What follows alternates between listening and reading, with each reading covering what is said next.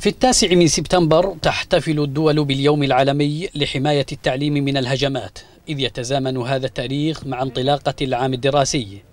لكن اليمن كواحدة من البلدان التي تشهد صراعا محتدما منذ خمس سنوات بفعل انقلاب ميليشيا الحوثي المتمردة. لا يعد هذا اليوم فيها عن كونه كابوسا يفتح مآسي ضرب وتدمير البنى التحتية والصروح المدرسية وتشريد آلاف الطلاب ومعلميهم. مناطق شمال محافظة حجة من أشد الأماكن في اليمن تضررا في قطاعها التعليمي جراء الاستهداف المتعمد من الميليشيا طوال سنوات الحرب.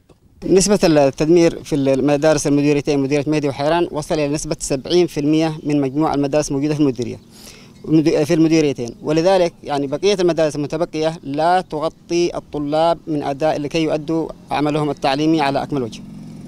عشرات المدارس دمرت بشكل جزئي وكلي في مديريات ميدي وحرض وحيران وعبس. دفعت بآلاف الطلاب للبحث عن أماكن بديلة للتعليم كالمساجد والدكاكين والخيام وتحت أوراق الشجر.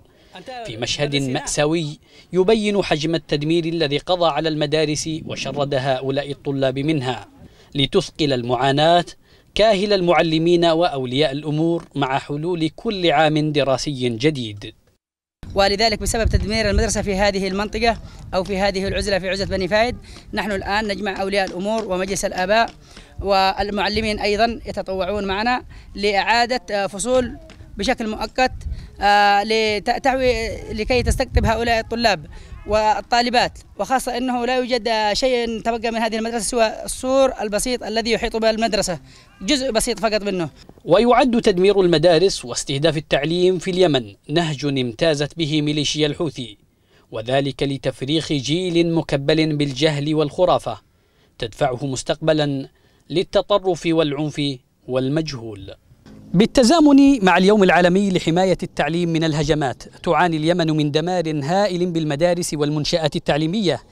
جراء الاستهداف المتعمد من قبل ميليشيا الحوثي المتمردة على امتداد سنوات الحرب المتواصلة التي تسببت في إشعالها. ومع استمرار الحرب يبقى التعليم عرضة لمزيد من التدمير والاستهداف المتواصل. سليم المخلافي لقناة سهيل محافظة حجة.